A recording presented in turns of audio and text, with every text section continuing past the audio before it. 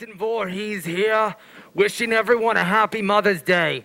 Oh, talking about mothers, I, I have one of the most loving, caring, endearing mothers there is. Uh, this woman, this woman is so awesome. I mean, I, I died.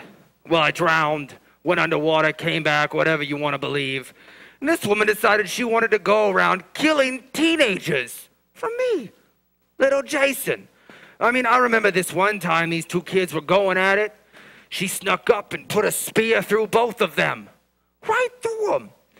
Well, this, this one time, oh, what's his face? Uh, he was, he was laying in bed, smoking one of those doobies that those kids smoke. And she's laying underneath the bed, underneath him, and slits his throat with a knife. I mean, that is love, people. That is love. Do your mothers do that for you? I, I can't imagine. I love her so much.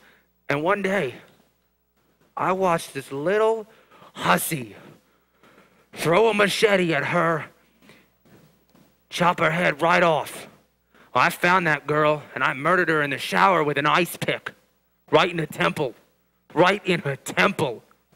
It was delicious. Dave likes it.